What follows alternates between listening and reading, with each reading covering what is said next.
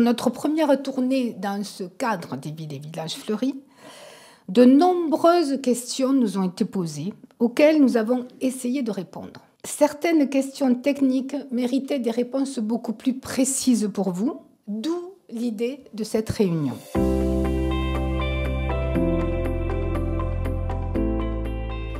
Si en 1959, date de la création du label des villes et villages fleuris, la quantité et la variété des fleurs et leurs couleurs étaient mises en avant, cela n'est plus du tout le cas.